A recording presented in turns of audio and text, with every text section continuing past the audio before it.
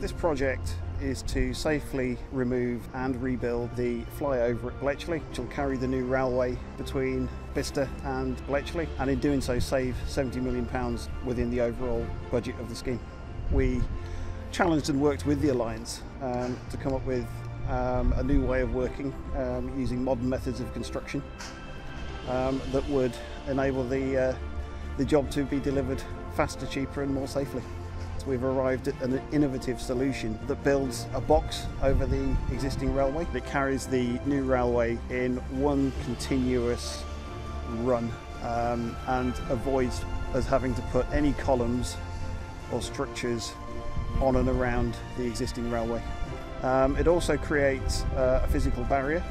which enables the work above the railway uh, to be carried out without interfering with operations below. We aim for 70% of the uh, building product to be manufactured off-site and that in turn gives us 60% reduction in uh, on-site workforce and 30% uh, improvement on the programme. We're basically building it out of a kit of parts. We install the precast shell units and to me they're like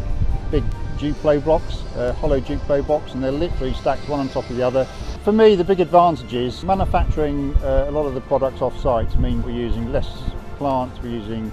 smaller workforce, so we, therefore we produce less noise, we get the, the factory quality, we do it quicker, and we have a big program saving. We've been able to speed up the project by six months and deliver the structure early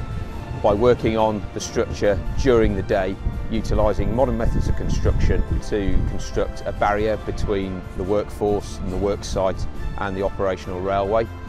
And that allowed us to keep the railway running for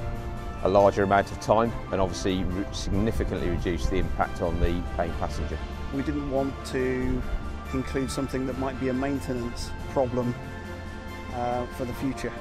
So by replacing this part of the structure, we put in something that's strong enough to carry the new railway, but should also last for 120 years.